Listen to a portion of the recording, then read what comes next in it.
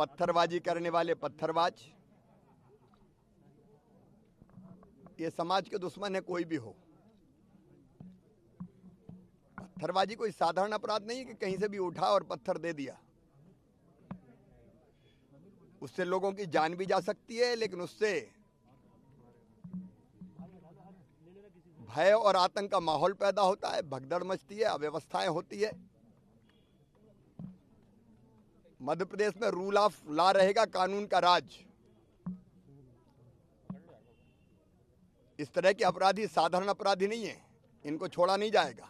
इसलिए अभी तो मामूली सी कार्रवाई होती थी, अब हम कड़ी सजा का प्रावधान करने के लिए कानून ला रहे हैं, कानून बना रहे हैं। लेकिन केवल पत्थरबाजी नहीं। कई बार उत्पाती सार्वजनिक संपत्ति को नुकसान पहुंचाते हैं। आग लगा देते हैं। सार्वजनिक संपत्तियों के साथ साथ व्यक्तिगत संपत्तियों को भी नुकसान पहुँचाया जाता है। किसी की दुकान में आग लगा दी, किसी के यहाँ तोड़फोड़ कर दी।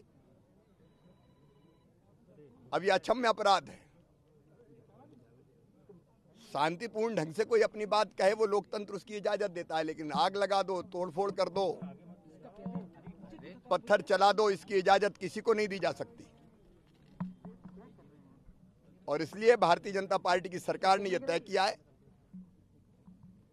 कि सार्वजनिक संपत्ति को नुकसान पहुँचाने वालों के खिलाफ न केवल कड़ी कार्रवाई करेंगे, बल्कि सार्वजनिक संपत्ति को अगर कोई नुकसान पहुंचाता है